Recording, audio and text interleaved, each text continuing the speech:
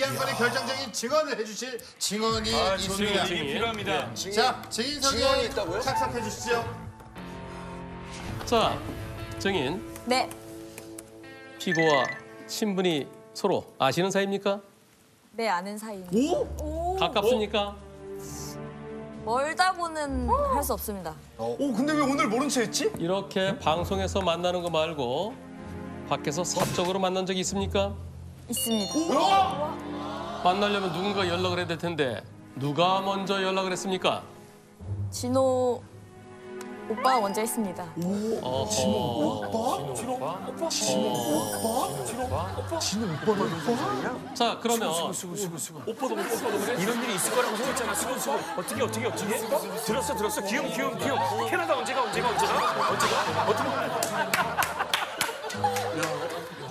피고가 증인에게 연락 올 때 뭐라고 그럽니까?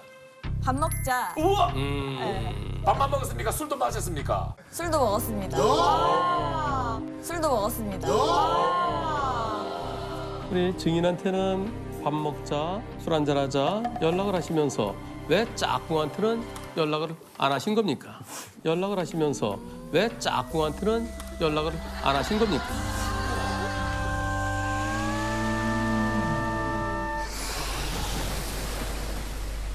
저는 기준이 있습니다. 사람을 만날 때, 사람을 만날 때, 사람을 만날 때, 그 사람의 기운을 봅니다.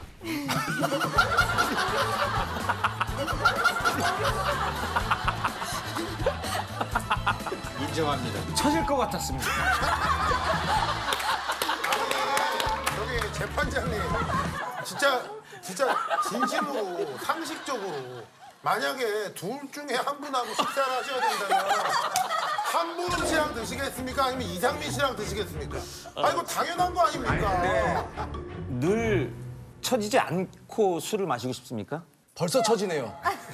벌써 처져요. 생각보다 이진호 씨가 일이 많고 어쩌다가 하루 쉬는 날은 우리가 정말 즐겁게 그 이진호- 사람들과 어울리고 싶지 않습니까? 그런 날 누구한테 전화하겠습니까?